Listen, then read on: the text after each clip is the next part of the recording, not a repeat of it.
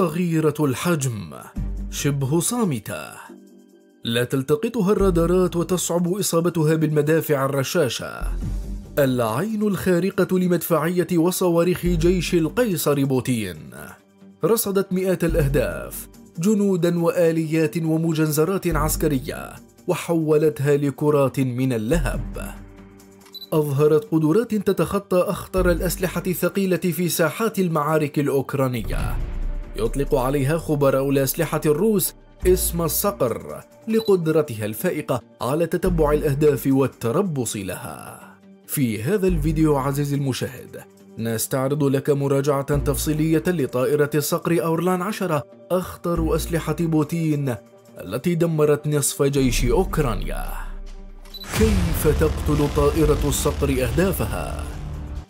عند تحويل أورلان 10 إلى طائرة انتحارية يتم تجريدها من كافة الأنظمة والمستشعرات والحساسات والإبقاء على إحدى الكاميرات الرخيصة والتقليدية كالتي يستخدمها مصورو الشوارع. الهدف من ذلك كله تخفيض وزن الطائرة وإفساح المجال لحمل ذخائر لا يتجاوز وزنها 9 كيلوغرامات. وهذه الكمية قادرة على تدمير أو تعطيل رادار منظومات دفاع جوي ومحطات اتصال وراجمات ومدافع وخلق ثغرات عالية الحساسية تسمح للقوات الروسية بتجاوز أي عقبات تواجهها. يستغرق تحويل أورلان لكاميكازي وتذخيرها 20 دقيقة فقط. كما يمكنها حمل 11 قنبلة خفيفة مثل قذائف الهاون من عيار 62 ملم وملاحقة تجمعات الأفراد وإلقائها فوقهم أو ملاحقة المركبات المدرعة والشاحنات والسيارات العسكرية وإعطابها. كما أظهرت المئات من مقاطع الفيديو التي تبثها وسائل الإعلام الروسية بشكل شبه يومي. نظرة عميقة على البدن والتصميم الهندسي. عند النظرة الأولى لشكل وتصميم المسيرة أورلان 10 يتبادر لذهنك أنها طائرة بسيطة وقديمة. بدن صغير الحجم ومجنحان مستقيمان ومحرك توربيني صغير كأنها إحدى طائرات الحرب العالمية الثانية. أليس كذلك؟ يبلغ طول الطائرة مترين وعرض الجناحين 3.1 متر ووزنها فقط 16 كيلوغراما شاملة التجهيزات التقنية ووقود المحرك. المحرك ذي الأسطوانة الواحدة والمربوط بتوربين ذي شفرتين موفر للوقود بشكل لا يصدق حيث تكفي 7 لترات لقطع مسافة الرحلة ذهابا وإيابا. تبلغ سرعتها القصوى 150 كم في الساعة ونطاق العمليات يصل إلى 600 كم وزمن التشغيل 11 ساعة متواصلة وأقصى ارتفاع يبلغ 6600 متر. يتم إطلاقها بواسطة منجنيق أرضي أو محمول على عربة. النسخة التصديرية من أورلان 10 تأتي بذات الأبعاد لكن بقدرات أقل من حيث السرعة التي لا تتجاوز 110 كيلومترات في الساعة ونطاق التشغيل 300 كيلومتر وثمان ساعات عمل فقط وبارتفاع 5000 متر فقط. هناك نسخة مخصصة للعمل مع الروبوتات الروسية القتالية تأتي بذات القدرة لطائرة الجيش الروسي.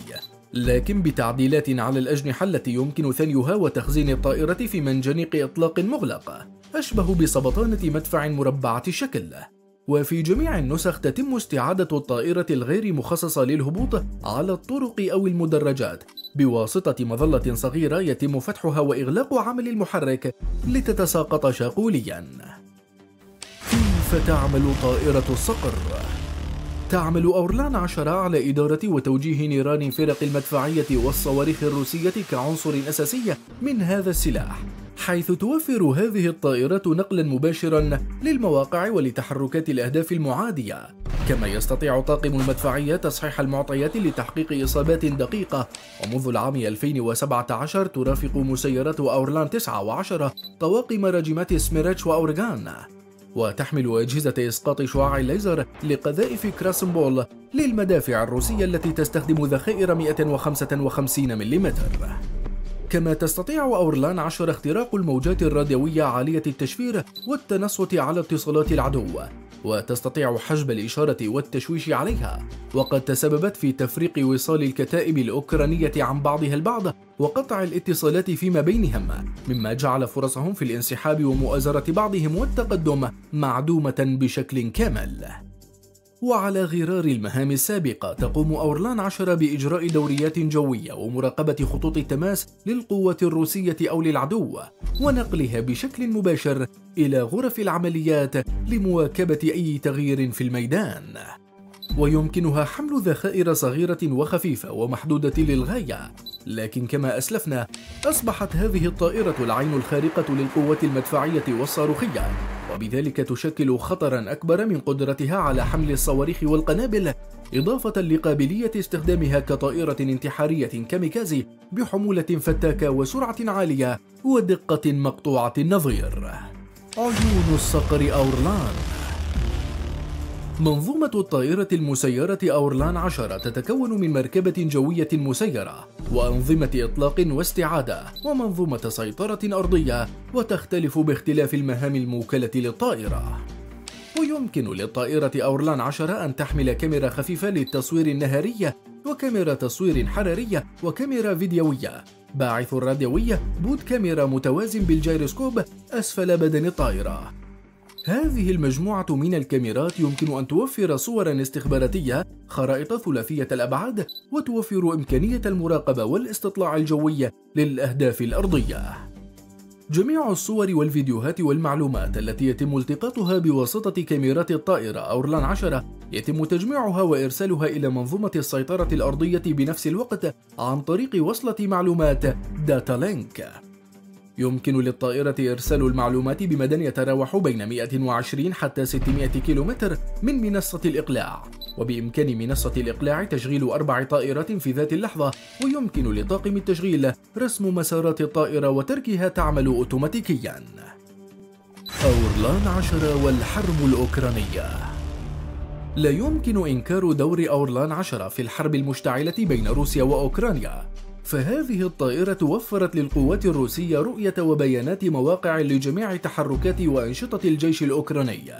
هذه المسيرة كانت بمثابة عميل روسي داخل كل عربة عسكرية أوكرانية وفي محيط كل معسكر وغرفة عمليات وكانت ترسم خرائط التحصينات الأوكرانية لحظة بلحظة خلال عمل الجرافات.